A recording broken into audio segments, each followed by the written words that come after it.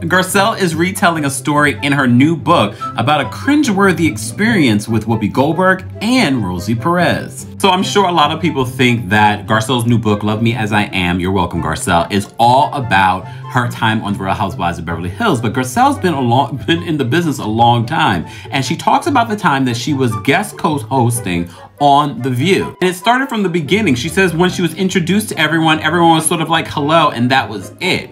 But she also talks about Whoopi Goldberg. And she says this about Whoopi. She says, I was shocked and appalled to see how testy Whoopi was with the show's producers. I was embarrassed and disappointed to say the least. It was cringeworthy. She even retells a story of Rosie Perez kicking her under the table to get her to shut up. But don't worry, everything is good between Garcelle and Whoopi. She even told Whoopi about the incident, and Whoopi says she doesn't remember.